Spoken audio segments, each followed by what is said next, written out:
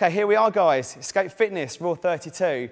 So we're doing a workout of the week for you, and today we're featuring the kettlebells. For those of you that don't know us, my name's Tim, and this is Paul. We run a boot camp in Crawley, uh, which has been pretty successful over the last few years, and we're really pleased to be here today. So we're going to crack on with three types of different exercises you can do with a kettlebell, and we're going to explain as we go along.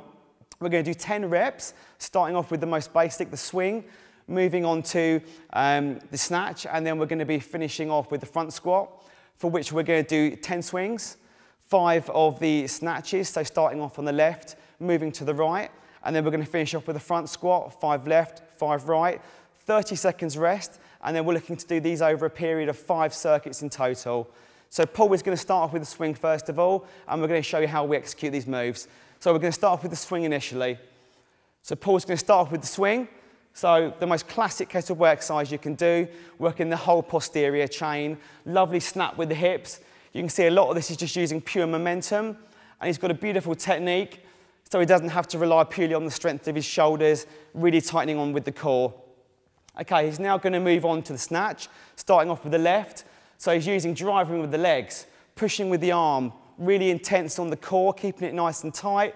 But you can see a lot of this again is momentum, swinging up, snapping the hips, pushing forward, follow through, and then moving on to the right side after you've executed five of those.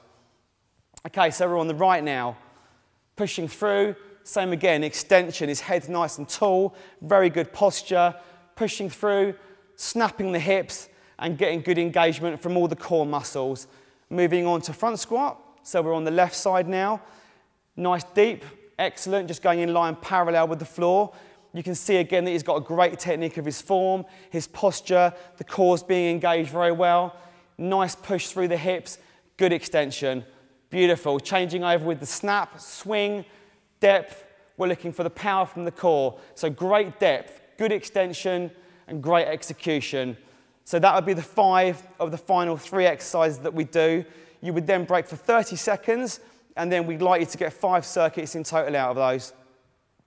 See how you find those guys. Give us a thumbs up if you like it. Hopefully you'll enjoy doing the workout and we look forward to your feedback very soon. Thank you.